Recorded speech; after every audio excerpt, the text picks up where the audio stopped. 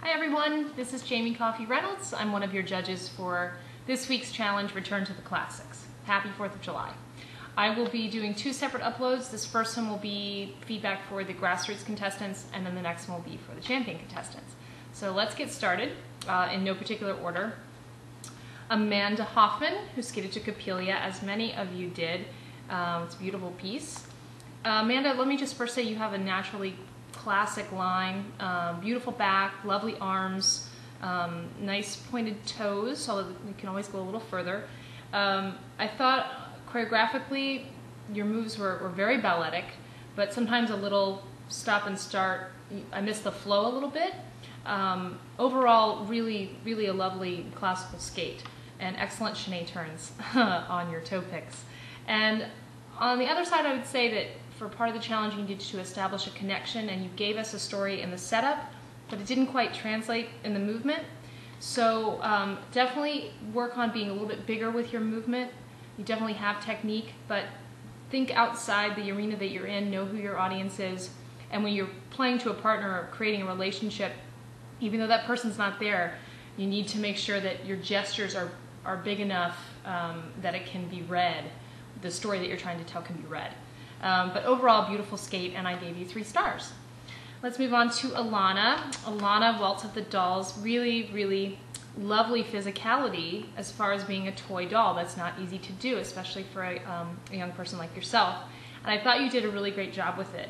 Um, in a classical piece, even though you're a doll, you need to make sure that you're pointing those toes um, and finishing all the lines with your arms.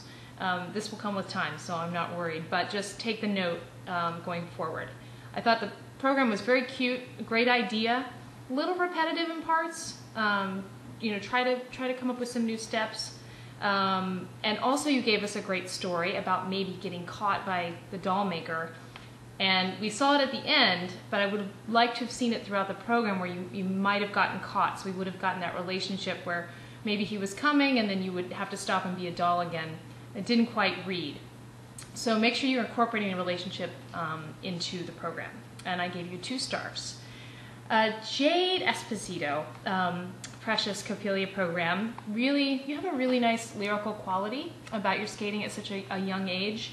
Um, you feel the music, which is not always inherent um, in someone as young as yourself. So that's wonderful. And also make sure that you're pointing your toes and extending um, fully. Again, this will come with time, but, but really be aware of it, especially in a classical program like this. Um, excellent throw of the bouquet. I completely got it. Um, and I think that was about it. I, I, gave you 1.5 stars. I didn't quite get the relationship from you either. Um, but overall, I thought it was a really great job. And say hi to uh, Lake Placid for me. I have a lot of great memories of skating there. So let's go on to Nanoha. Nanoha, I was pretty blown away by your work this week. I honestly didn't expect it. It was really lovely, and you you emoted so fully in your expression. Um, it was quite moving, and you can always go a little bit further. But I really thought that you were relating. I could feel that expression, that sort of young love. Um, you were being whisked away, and it was very I was being carried with you, which is um, hard to do as a choreographer um, and a skater. Uh, and I would say there wasn't always like a classical line, but your commitment was so there. You were you were in it to win it, for lack of a better phrase. So um, I also thought it was great that you reinterpreted um, the story. That's wonderful, and um, I, I got it. It came through perfectly. So I gave you 3.5 stars. Well done. Um, lastly, we have Victoria. Victoria skated to Giselle, which was uh, a favorite ballet of mine, and uh, I thought you were, I thought you were lovely in, in a word. Uh, you have beautiful expression. Uh, the very opening line where you have your arm out um, in this beautiful extension, it was, it was just remarkable, and it reminded me a lot of Simone Grigorescu, who was very influential on me when I was a young skater. And um, if you haven't seen her skate, definitely try to YouTube some of her her stuff. But it just was it reminded me of, of Simone. And um, I think you have a lovely quality to your work, not just your own skating, but also your choreography. Um, and uh, I think whatever you're doing out there in Iowa is right on track. Um, you have a lovely line. Careful with your torso. Sometimes you, you get a little closed. We have some grand gestures, and then sometimes it gets a little caught. So be aware of that, and you'll see it, I think, if you watch your skating. Um, I lost the story a little bit in the middle of the program, um, and then towards the end, I felt like you were throwing away some of the movement a little bit.